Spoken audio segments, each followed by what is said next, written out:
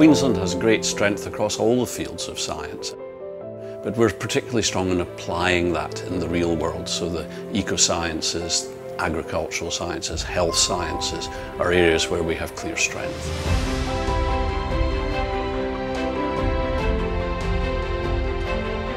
The human population is rapidly expanding and one of the grand challenges we have is how to feed the population.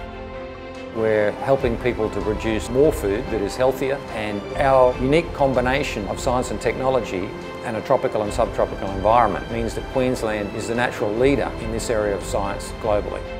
We are making crops more resilient by making them more drought and disease tolerant.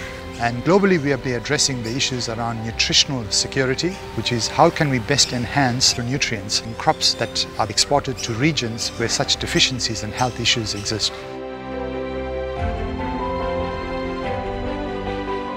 Aquaculture is the fastest growing animal production industry in the world and has a very important role in filling this uh, requirement for animal protein into the future in more sustainable ways.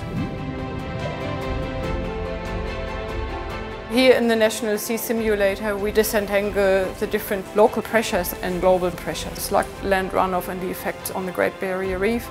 We are collaborating quite widely with industries, scientists and government because it's an issue that affects everybody. Air quality is one of the top risks which humans face. Queensland provides a very good collaborative environment for working together with the international organizations, delivering research outcomes and then for utilization by our partners. TRI is a unique facility globally because here we can do the basic science, we have the animal models to translate it, we have the manufacturing capacity to make products that are ready to go into patients, a clinical trials facility and then straight into the hospital, all on one site. If you want to treat a disease, you have to have someone take a tablet. That contains a compound. We make a difference by discovering those compounds from the wonderful resource and the biodiversity of Queensland. Queensland is exciting. Not only are you at the doorstep of tropical disease in all its forms, you're also in a developed country with a tremendous health system and institutions and government who are really focused on the development of tropical health know-how that I think is gaining attraction worldwide. Eliminate dengue is making a huge difference because dengue fever was such a burden. Many people sick. And now, because of the Eliminate Dengue program, we've gone from lots of outbreaks every wet season to virtually nothing.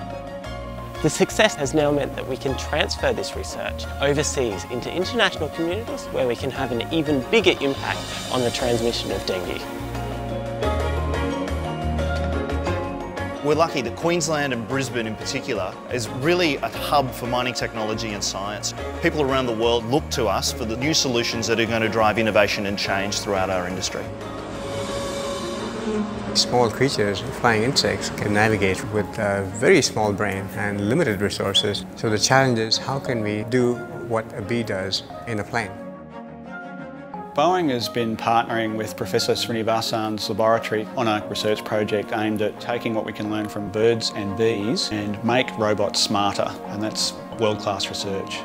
Partnering with industries like Boeing, it gives us a feeling of our research being actually relevant to society, and that's a very big thrill.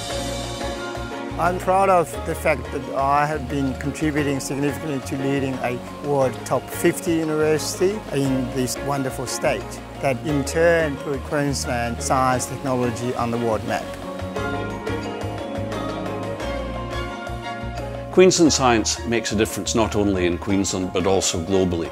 We focus on science that is important not only for ourselves but for our region and the planet.